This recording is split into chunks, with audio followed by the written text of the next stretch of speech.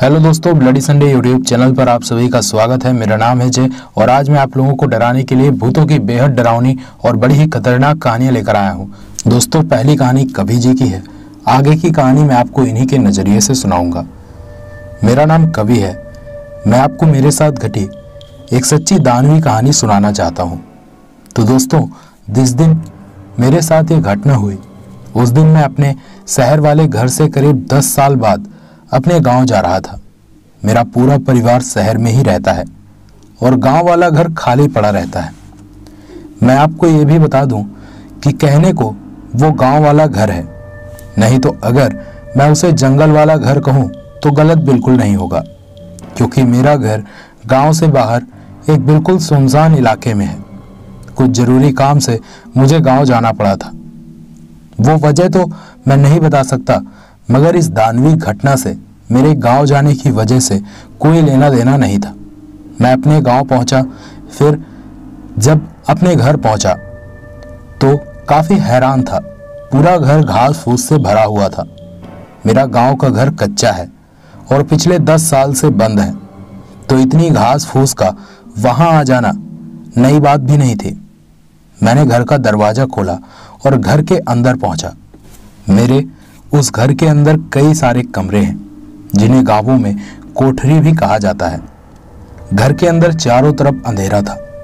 मैं अपने सोने वाले कमरे में पहुँचा और साथ लाई टॉर्च को ऑन करके वहाँ पर रख दिया। फिर बैग से कुछ खाना, जो मैं साथ लाया था, उसे निकाला और खाना खाकर मैं सो गया। आधी रात को मेरी किसी की भारी आठों से नींद खुल गई। मैंने सोचा कि शायद कोई चोर घर में घुस आया है। मगर मैंने जरा भी आहट नहीं की, क्योंकि चोरों के अलावा गाँवों में ज़्यादातर बदमाश और डकैत भी घर में आ जाते हैं और उनके सामने जो आ जाता है, वो ऊपर पहुँच जाता है। मगर हिम्मत करके मैंने कमरे के दरवाजे के पास से मैंने घर के बाहर आँगन की तरफ़ देखा। इतने अंधेरे में मुझे कुछ साफ़ तो नहीं दिख रहा, पा रहा था, मगर बादलों में छिपे चाँद की हल्की रोशनी में मुझे जो दिखा, उसे देख मेरे रोंगटे खड़े हो गए। मैंने देखा, एक बड़ा विकराल सा आदमी, आँगन के बीच से धीरे धीरे मगर भारी कदमों में, मेरे कमरे के ठीक सामने वाले कमरे की तरफ़ जा रहा था। मुझे डर तो काफ़ी लग रहा था, मगर साफ़ साफ़ उस व्यक्ति को ना देखने की वजह से, बेचैनी भी हो रही थी। फिर मैंने हिम्मत करके कमरे में रखी टॉर्च उठाई, और टॉर्च उस व्यक्ति की ओर मारी। फिर मैंने जो देखा, वो बेहद खौफनाक था। मैंने देखा एक बड़ा विकराल दानव, और जिसके सर के बीच में एक सींग निकली हुई थी, और वो काफ़ी लंबा, मोटा और तगड़ा था।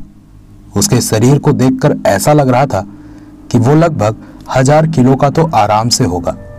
फिर मैंने देखा, वो दानव एक आदमी को, जो शायद मर गया था, या बेहोश था, पता नहीं उसे खींचकर मेरे कमरे के ठीक सामने वाले कमरे में ले जा रहा था। मेरे रोंगटे खड़े हो चुके थे, मगर मेरे लिए एक बात फ़ायदे की थी कि मेरी टॉर्च की रोशनी पर भी उस दानव ने कोई प्रतिक्रिया नहीं दी थी। इसका मतलब मेरे पास वहाँ से भागने का मौका था, और मैंने वो मौका नहीं छोड़ा। मैं वहाँ से फ़ौरन भागा और सीधा गाँव पहुँच गया।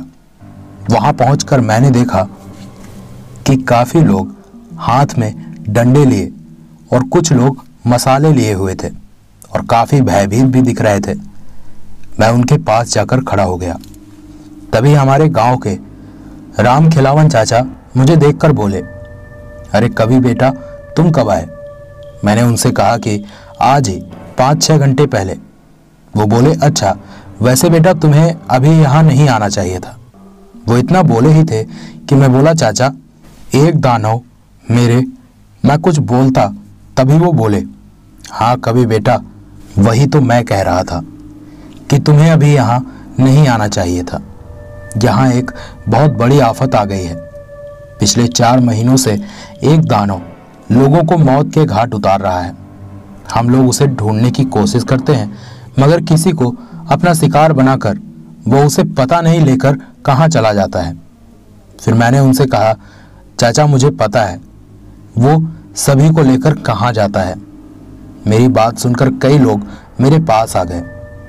उनमें से उस लड़के के पिता भी थे, जिसे खींचकर मैंने उस दानव को ले जाते हुए देखा था।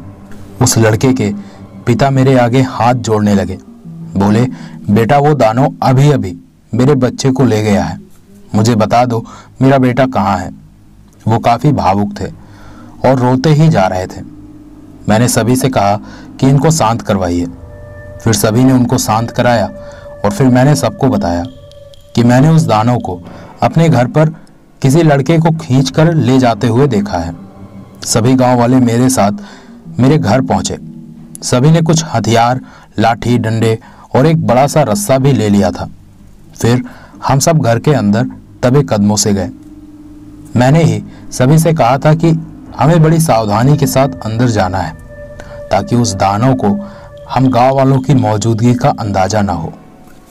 और वो उस लड़के को अगर भगवान की कृपा से वो जीवित है तो उसे कुछ ना करे।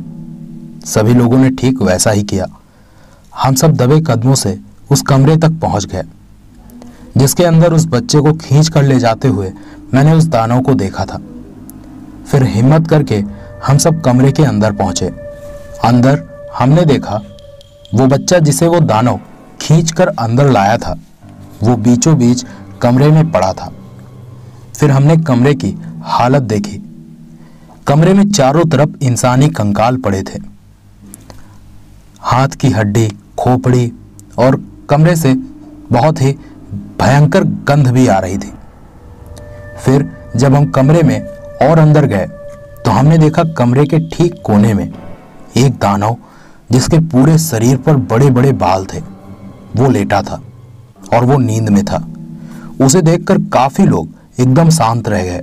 वो एकदम सन्न हो गए और उसका भारी शरीर देखकर राम खिलावन चाचा और कई लोगों ने हमें सलाह दी कि इसे रस्से और लाठियों से काबू कर पाना संभव नहीं है। फिर मैंने कहा कि अच्छा तो पहले इस लड़के को बाहर ले चलिए। फिर सोचते हैं कि इसका करना क्या है। सभी लोग उस बच्चे को लेकर बाहर आ गए। भगवान की कृपा से उस बच्चे को कुछ नहीं हुआ था। वो बेहोश था और उसके मुँह पर पानी मारने पर उसे होश आ गया था। फिर हम सबने सोचा कि इस दानों को घर पर ही खत्म कर देते हैं। लेकिन दिक्कत इस बात की थी कि ये कैसे होगा। तभी गाँव के राम खिलावन चाचा बोले, बेटा, एक तरीका है, मगर उससे तुम्हें दिक्कत होगी। मैंने उनसे पूछा कि क्या चाचा, आप बताइए। बेटा, अगर इस घर को आग लगा दी जाए और जिस कमरे में वो दानव सो रहा है, उसे बाहर से बंद कर दिया जाए तो ये दानव घर पर ही जलकर मारा जाएगा। मैंने थोड़ा सोचा, फिर मैंने चाचा से कहा कि ठीक है चाचा, आप सब मेरे इस घर को आग लगा दीजिए। वैसे भी हम यहाँ नहीं रहते हैं और अपना काम खत्म करके मैं भी वापस शहर लौट जाऊँगा। और वैसे, ये बात तो है कि हम जहाँ नहीं रहते, लेकिन ये हमारी जन्मभूमि है। तो इसे अनावश्यक तो नहीं जलाना था, ना ही बर्बाद करना था। लेकिन गाँव की भलाई के लिए और जिसमें सभी की भलाई है तो आप इसे जला दीजिए। मेरी बात सुनकर चाचा बोले कि ठीक है बेटा। फिर चाचा बोले, चलो भाइयों, पहले चलकर उस कमरे को बंद करो।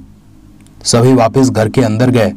मैं भी गया और चाचा दरवाज़ा बंद करने वाले थे कि मैं बोला, चाचा, एक बार फिर से हमें देख लेना चाहिए कि अभी भी वो दानव अंदर ही है या फिर नहीं है। चाचा बोले, ठीक कहते हो। फिर सब कमरे के अंदर वापस गए। हमने देखा, कमरे में अभी भी वो दानव गहरी नींद में सोया हुआ था। हम सभी बाहर निकलने लगे कि तभी गाँव के ही एक आदमी से लोगों के धक्के की वजह से उसकी मसाल जो उसने हाथ में पकड़ रखी थी, ज़मीन पर धड़ाम से गिर गई। मसाल की आवाज़ से वो दानव नींद से जाग गया और एकदम से उसने हम पर हमला कर दिया। हम सब कमरे से बाहर भागे, लेकिन कमरे से निकलते हुए हमने देखा उस दानव ने हमारे गाँव के राम खिलावन चाचा पर हमला कर दिया था और उनके सर को धड़ से उखाड़ दिया था। तभी गाँव के एक आदमी ने हिम्मत करके कमरे का दरवाज़ा बाहर से बंद कर दिया। राम खिलावन चाचा का मृत शरीर और वो दानव कमरे के अंदर ही थे। फिर हम सबने एक दूसरे को हौसला दिया और कहा कि ये वक्त रोने का नहीं है, हमें इस दानव को खत्म करना है। फिर हम सभी ने पूरे घर को आग लगा दिया और घर से बाहर आ गए। घर के बाहर का दरवाज़ा भी मैंने बाहर से बंद कर लिया। ताकि किसी भी तरफ़ से वो दानव बाहर ना निकल पाए। थोड़ी ही देर में पूरा घर जलने लगा और फिर हमें उस दानव की दर्दनाक और खौफ भरी चीखें आधे एक घंटे तक सुनाई दी और एक घंटे बाद सब शांत हो गया। पूरा घर जलकर राख हो गया और उस दानव की आवाज़ें आना भी बंद हो गई। फिर हम सब वहाँ से गाँव चले आए। गाँव में सभी ने मेरा खूब ख्याल रखा और दूसरे दिन मैं शहर के लिए लौट गया। तो दोस्तों, यही थी मेरे साथ घटी सच्ची दानवी घटना। और बहुत धन्यवाद है जय भाई का कि उन्होंने इसे आप तक पहुँचाया। हेलो दोस्तों, मेरा नाम विराट है। मैं पिछले चार पाँच दिनों से भूतिया घटनाओं का शिकार हो रहा हूँ। दोस्तों, आपकी जानकारी के लिए बता दूँ कि मेरे शहर में खुद की एक दुकान है। और चार साल से मैं शहर में ही रहता था। अभी कुछ महीनों से कोरोना वायरस ने काफ़ी परेशान कर रखा है और जिससे मेरे धंधे पर भी काफ़ी असर पड़ रहा है। और साथ ही इस वायरस से डर तो लग ही रहा था, मगर पेट की रोटी के लिए कुछ ना कुछ करना ही पड़ता है। मगर मेरी शहर में धंधे के नाम पर एक ही दुकान है। मेरा पेट का खर्चा उस दुकान से निकल आता है। मेरा इस दुनिया में कोई नहीं है और गाँव में मेरा घर भी है। पिछले चार सालों से मेरा गाँव वाला घर बंद पड़ा था। मैं शहर में ही अपनी दुकान चलाता था। मगर जब कोरोना के डर से लोगों का दुकान पर आना बंद ही हो गया तो मैंने सोचा कि चलो गाँव चलता हूँ, क्योंकि अब शहर में रुक कर कोई फ़ायदा नहीं है और गाँव न जाए कई साल हो गए हैं और गाँव में ये बीमारी उतना फैली भी नहीं है। सुरक्षित भी रहूँगा और गाँव भी घूम आऊँगा। यही सब सोचकर मैं गाँव के लिए निकल पड़ा और रात तक गाँव पहुँच गया। मेरे घर के आसपास में कोई भी घर नहीं है। यही वजह थी मुझे अपने घर पर अकेले में काफ़ी डर लगता था। अब मैं अपने घर के पास पहुँच गया था। घर के दरवाजे पर चार साल पुराना ताला लगा था। मुझे डर था कहीं ये खराब ना हो गया हो। मैंने जल्दी से घर का दरवाज़ा खोला घर के दरवाजे का ताला बड़े आराम से खुल गया। मैं घर के अंदर पहुँचा, मगर अंदर जाकर मैंने देखा, घर में काफ़ी पानी भरा हुआ था। आपके पैर का अंगूठा डूब जाए, इतना पानी। मैं काफ़ी हैरान हो गया कि मेरे घर में ये पानी आखिर कहाँ से आ गया। मैंने अपने हाथ पर अपना फ़ोन पकड़ रखा था। मैंने फ़ोन की फ्लैश लाइट घर के बाहर, घर का दरवाज़ा खोलते वक्त ऑन की थी। फिर मैंने सोचा हो सकता है ये बरसात का पानी हो, मगर मेरे घर की छत भी तो बंद है।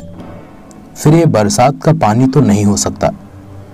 यही सारे सवाल मेरे दिमाग में चल रहे थे। फिर मैंने अपना रुमाल बाहर निकाला और उससे अपना चेहरा पोंछने लगा।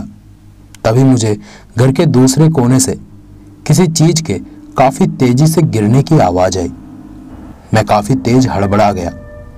और हड़बड़ाहट में मेरा रूमाल हाथ से छूटकर ज़मीन पर गिर गया। मेरे दिल की धड़कनें काफ़ी तेज हो गई थी। बार बार एक ही ख्याल मेरे मन में आ रहा था कि चार साल से बंद, इस घर में मेरे अलावा और कौन है? यही सोचते सोचते मैंने अपना रूमाल उठाया और रूमाल की तरफ़ जब मैंने देखा तो मेरी चीख निकल गई। रूमाल पानी से नहीं बल्कि खून से भीगा था।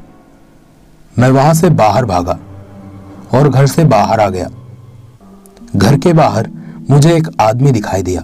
मुझे देखकर वो बोला कि, क्या हुआ भाई? आप मुझे काफ़ी डरे हुए दिख रहे हो। मैंने कहा हाँ यार। वो, मेरे घर में मैं इतना बोला ही था कि मेरी नज़र उस आदमी के पैरों की तरफ़ गई। उस आदमी के पैर पीछे की ओर मुड़े हुए थे। और बहुत खतरनाक दिख रहे थे। ऐसा लग रहा था जैसे कि सड़े हुए हों। मैं ये देखकर उसके पास से भागा और भागकर वापस घर में घुस गया और दरवाज़ा मैंने अंदर से बंद कर लिया। अब आप सब सोच रहे होंगे, मैं वापस घर में क्यों भाग आया? तो ये मुझे भी नहीं पता, मगर उस आदमी को देखकर मुझे पहले का कुछ भी याद ही नहीं रहा और मैं घर के अंदर आ गया और मैंने दरवाज़ा बंद कर लिया। मगर थोड़ी देर में ही मुझे महसूस हुआ कि ज़मीन तो बिल्कुल सूखी पड़ी है। मैंने फ़ोन की फ्लैश लाइट घर की ज़मीन पर की और जो मैंने देखा, उसे देखकर मैं काफ़ी हैरान हो गया। पूरे घर की ज़मीन सूखी हुई थी और खून या पानी कुछ भी नहीं था। मैंने हल्का सा दरवाज़ा खोलकर घर के बाहर देखा। बाहर मुझे चार पाँच लोग एक साथ एक दूसरे के बिल्कुल पास खड़े दिखाई दिए। उन सबने एक गोल घेरा बना रखा था और मुझे सिर्फ़ उनकी पीठ नज़र आ रही थी। मैंने धीरे से दरवाज़ा फिर से बंद कर दिया और वापस घर की तरफ़ मुड़ गया और फिर मैंने जो देखा, उसे देखकर मैं एक झटके के साथ दरवाजे से चिपक गया। जो आदमी कुछ समय पहले ही मुझे घर के बाहर दिखा था, जिसके पैर पीछे की ओर मुड़े हुए थे, वो मेरे सामने खड़ा था। मैं डर से काँप रहा था और चाह कर भी कुछ नहीं कर पा रहा था। ना तो चीख पा रहा था, न भाग पा रहा था। तभी वो आदमी फिर से बोला, क्या हुआ भाई? आप मुझे काफ़ी डरे हुए दिख रहे हो। मैंने उससे हल्की आवाज़ में पूछा, कौन? कौन हो तुम? और मुझसे क्या चाहते हो? मेरे इतना कहते ही वो आदमी ज़ोर ज़ोर से हंसने लगा और बोला, क्यों विराट? भूल गया मुझे। मैं वही हूँ, जिसकी जान ली है तूने। मैंने उससे कहा, नहीं नहीं, मैंने किसी की जान नहीं ली। तभी उस आदमी के ठीक पीछे वो पाँचों आदमी और आ गए, जिन्हें मैंने घर के बाहर अभी थोड़ी देर पहले देखा था। वो सब एक साथ बोले, क्या हुआ भाई? आप मुझे काफ़ी डरे हुए दिख रहे हो। और फिर वो सब ज़ोर ज़ोर से हंसने लगे। उनकी बात सुनकर मुझे याद आया कि मैंने कितनी बड़ी गलती की थी। दरअसल लॉकडाउन के बाद भी मैं अपनी दुकान खोलकर बैठा था और जो आदमी भी मुझे दिखता, उसे अपने पास बुलाता था और उससे कहता, क्या हुआ भाई? आप मुझे काफ़ी डरे हुए दिख रहे हो। फिर वो सब कहते हाँ यार, कोरोना वायरस ने काफ़ी परेशान कर रखा है और मास्क भी नहीं मिल रहे हैं। तब मैं कहता, अरे, क्या बात कर रहे हो? मास्क चाहिए तो मुझसे ले लो। एक नंबर मास्क है। उन सभी ने मुझ पर विश्वास करके मुझसे मास्क ले लिया था, मगर मैंने उन सबके साथ धोखा किया था और पैसे कमाने के चक्कर में सभी को नकली मास्क दे दिया था। मैं ये सोच ही रहा था कि मैंने बहुत बड़ी गलती कर दी। तभी वो सब बोले, क्यों विराट? हमको मारकर ज़िंदा बचना चाहता है। तूने हम सबको नकली मास्क देकर मौत के घाट उतार दिया। और अब खुद बचना चाहता है। तुझे भी मरना होगा। मरना होगा तुझे। यही कहकर उन सबने मुझे चारों तरफ़ से घेर लिया। और सभी ज़ोर ज़ोर से मुँह से सांस लेने लगे। सभी मुझ पर सांस छोड़ने लगे। और मैं चीखता रहा, चिल्लाता रहा। थोड़ी देर बाद वो सब मेरे सामने से गायब हो गए। सुबह तक घर के एक कोने पर मैं पड़ा रहा और सुबह होते ही नज़दीकी स्वास्थ्य केंद्र पहुँचा। वहाँ जाकर मैंने अपनी जाँच कराई। मैं कोरोना पॉजिटिव हूँ और चार दिनों से पड़े पड़े ज़िंदगी और मौत से लड़ रहा हूँ। मुझे अभी भी वो सब रोज दिखाई देते हैं और वो मुझे देखकर हँसते हैं। वो मुझे अपने पास बुला रहे हैं। मैं अपनी गलती की सजा भुगत रहा हूँ। और मैं बचूँगा या मरूँगा, मुझे ये भी नहीं पता। हर दिन मेरी हालत और खराब हो रही है। आप सब मेरी जैसी गलती कभी मत करना और ना ही घरों से बाहर निकलना। दोस्तों, ये थी हमारी आज की कहानियाँ। मुझे उम्मीद है कि आपको ये कहानियाँ ज़रूर पसंद आई होंगी। ये जो दूसरी कहानी आप लोगों ने सुनी, ये कोरोना के टाइम पर मैंने आप लोगों के लिए क्रिएट किया था। एक सोशल मैसेज देने के लिए मैंने ये स्टोरीज आप सबके सामने पेश की थी। आज उन्हें वापस रिपीट किया है, ताकि आप लोग भी इंजॉय कर सकें और कुछ पास्ट मेमोरीज को आप याद कर सकें। खैर दोस्तों, इसके बाद आप सभी को स्लिप म्यूज़िक सुनने को मिलेगा। उम्मीद करता हूँ आपको ये कहानियाँ पसंद आई होंगी। अगर आप स्लिप म्यूज़िक ना सुनना चाहें तो आप यहाँ से वीडियो को स्किप कर सकते हैं।